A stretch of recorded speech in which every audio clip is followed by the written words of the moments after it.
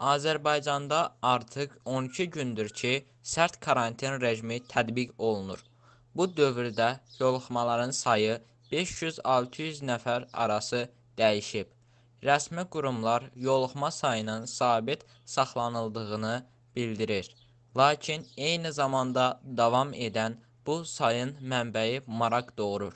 Sərt karantin rejimi dövründə yoluxanlar hansı kateqoriyadadır? İşləyən, yəni şəhərdə hərəkət imkanları olanlar, yoxsa karantini evdə keçirənlər arasında daha çox yoluxma qeydə alınır? İş yerlərində kütləvi yoluxma halları olurmu?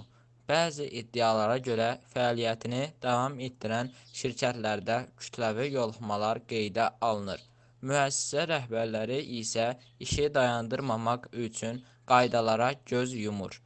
Həmçinin iyul ayının 20-sinədək uzadılan sərt karantinin rejiminin necə nəticə verəcəyi də maraqlı məqamlardandır.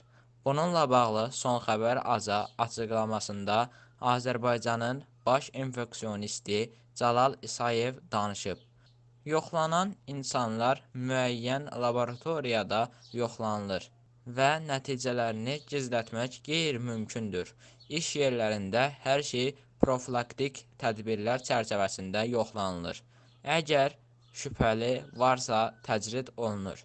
İş sahiblərinin əgər belə hallar aşkarlanarsa, bunu gizlətməsi qeyri-mümkündür.